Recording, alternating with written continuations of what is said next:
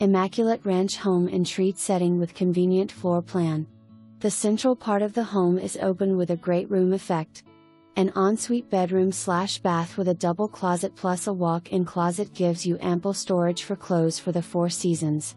At the opposite side of the home, there's a bedroom wing with two bedrooms and a bath. Add to this a laundry slash mudroom, and you have ideal one floor living. This home has been recently updated with new floors and paint throughout, new appliances, and updated bathrooms. Furnace and hot water heater 2 years old. Much new landscaping and walkways have been added. Ideal village setting on a quiet, private street and low village electric rates. Ideal, affordable living.